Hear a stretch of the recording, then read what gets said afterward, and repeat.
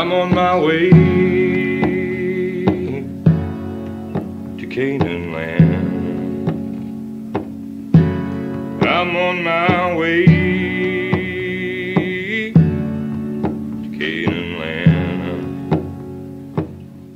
The great African American folk singer Odetta adored the man. Tim Buckley and Gram Parsons idolized him. He taught Stephen Stills how to feel, musically speaking, and David Crosby how to listen, to hear music in everything. Won't you tell my mama? John Sebastian said he influenced a generation of singer songwriters. Neil Young wrote that Fred Neil influenced a generation of musicians.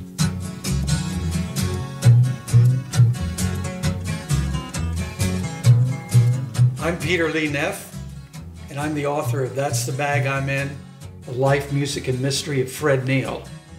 Back in May of 2009, I drove down to Coconut Grove, Florida to do my first interview for the book.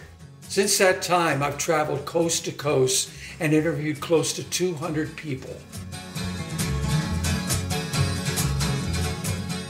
I found a story that far exceeded my expectations. I found the story of American popular music in what some consider its most formative period, the mid 50s through the 60s and into the 70s. When Bob Dylan left Minnesota for New York City, he was told to look up Fred when he got there. Well, Dylan did just that. And for the first time, found himself on a coffee house stage in Greenwich Village, playing behind a man whom he described as an emperor, a musician no one could touch. It's a story of uncompromising art in the face of commerce.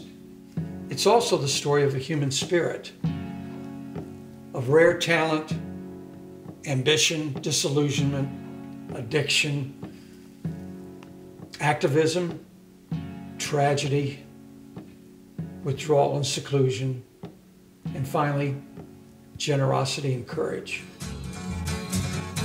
At the end, the only thing he left behind was his music. Music that's still recorded today. Songs like Everybody's Talkin', Little Bit of Rain, Candyman, That's the Bag I'm In, and The Dolphins. I really can't say how Fred would feel about the book. However, I do know that Fred once told a writer friend of his that it was okay to write about him, but only after he was dead. And he added, but get it right. I hope I have.